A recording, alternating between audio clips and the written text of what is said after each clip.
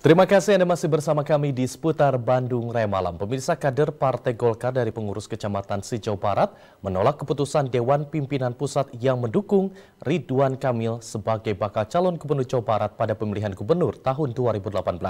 Para kader pun akan mengadukan ke Mahkamah Partai serta meminta Dewan Penasehat Abdul Rizal Bakri turun tangan dalam kisru pencalonan gubernur di Pilgub Jabar.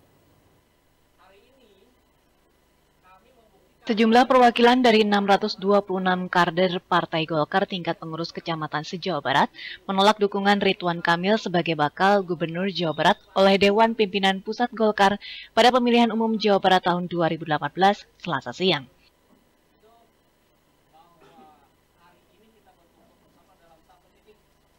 Penolakan dukungan kader ini karena DPP Golkar tidak menghargai para kader di Jawa Barat yang menginginkan Deddy Mulyadi menjadi bakal calon gubernur pada Pilgub Jabar tahun 2018 dari Partai Golkar. Para kader Golkar tingkat kecamatan akan mengadukan ke Mahkamah Partai serta meminta ke Dewan Penasehat Abu Rizal Bakri turun tangan dalam kisruh pencalonan gubernur di Pilgub Jabar. Sampai saat ini kami belum menyerah, kami belum belum bisa menerima itu nama Ridwan Kamil dalam hal ini kami belum belum belum melihat hitam di atas putihnya. Kami belum menyerah.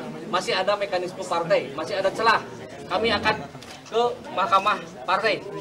Ini belum pernah, kami belum menerima. Jadi belum bisa menerima rekomendasi dari DPP untuk Ridwan Kamil. Sebelumnya, Sekretaris DPP Golkar Idrus Marham bersama Wali Kota Bandung Ridwan Kamil memamerkan foto surat keputusan DPP Golkar yang telah memberikan dukungan Cagup dan Cawagup Jabar kepada Ridwan Kamil serta Daniel Mutakin.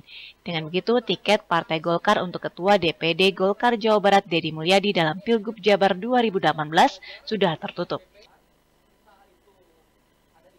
Yuwana Kurniawan, Bandung TV